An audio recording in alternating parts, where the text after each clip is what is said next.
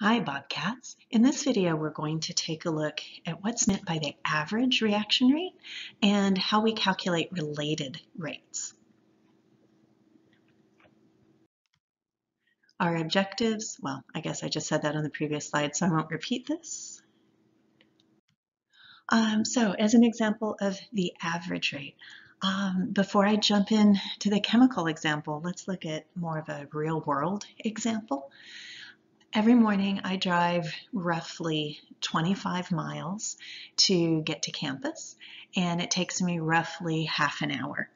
So if you were to calculate my average rate, the average speed at which I was driving to get to campus, it would be 25 miles divided by half an hour because we normally report speeds in miles per hour.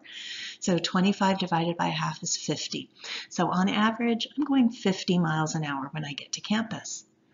But think for just a moment. One of the streets I take is Aquarena Springs. There are stoplights on Aquarena Springs, and I am certainly not going 50 miles an hour when I'm sitting at a stoplight. Then I'm going zero miles an hour. So there's a difference between the instantaneous rate, the, the rate at any given moment, um, and the average rate, which would be the entire trip distance divided by the time taken.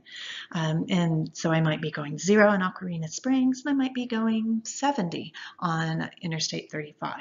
So on average, it works out to be about 50 but the instantaneous rates are very different.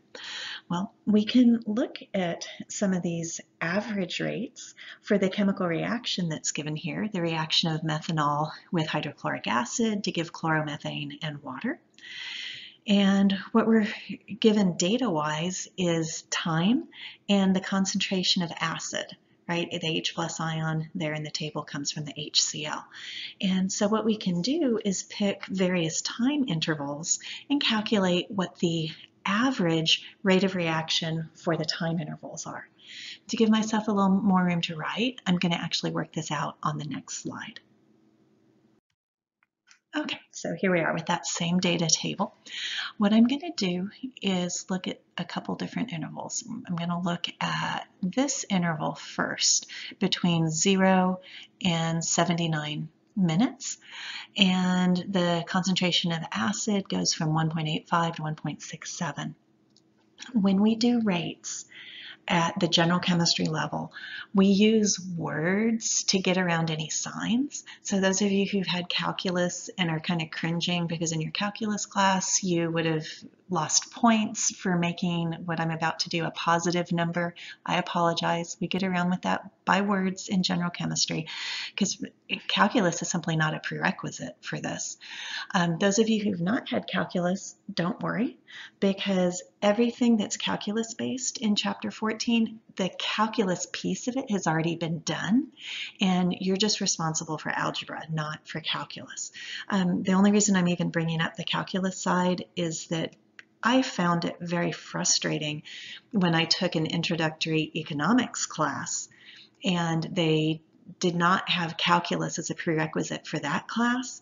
It, it, just was so frustrating when they were going to these great extremes to try to explain the math they were doing when all they needed to do was say this is a derivative, which is a calculus operation. So um, you, if you didn't have calculus, don't worry about it. Um, it's, it's all good, but I don't want to gaslight the people who've had calculus.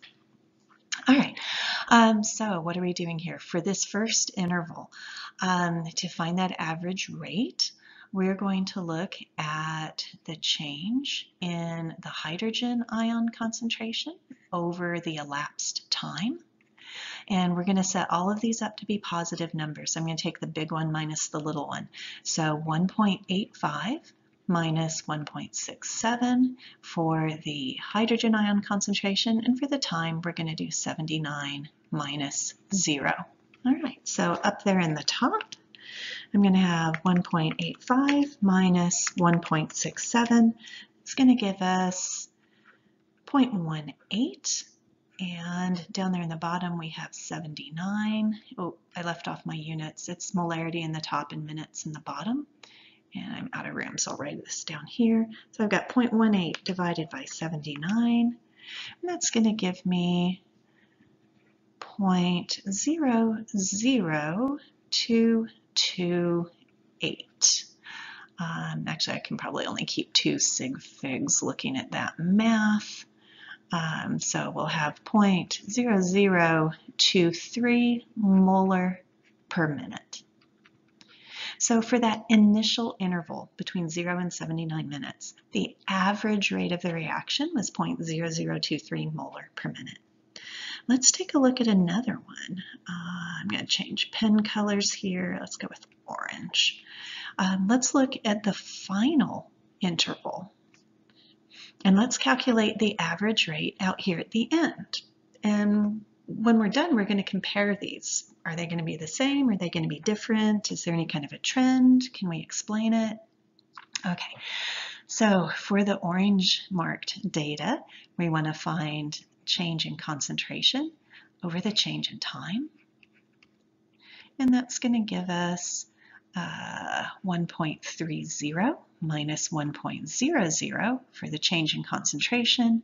And for the change in time, it's going to be 632 minus 316. Again, we are deliberately doing this in such a way that we get positive numbers for both. So up there in the numerator, 1.3 minus 1 is going to give me 0.3 sig fig wise, we can keep two decimal places. And then 632 minus 316, whoops, let's plug that in right. 632 minus 316, oh, that's going to give us 316.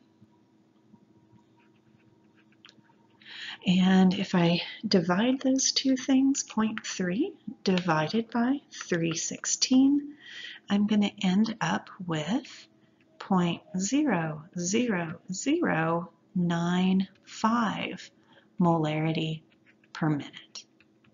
Now, how does that compare to the earlier interval? Well, it looks like it's a smaller number.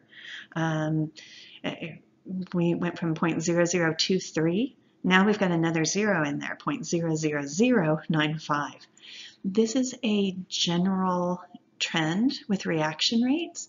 We said earlier that the rate of a reaction depends on the concentration of the reactants. As time goes by, the concentration is dropping. So if the concentration has gone down, the reaction rate will also go down. So let me just kind of make a note of that. Um, as time passes,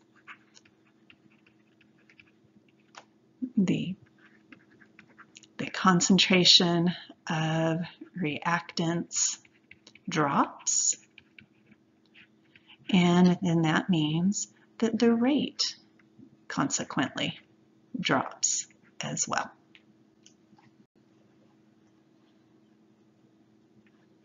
Okay, next slide.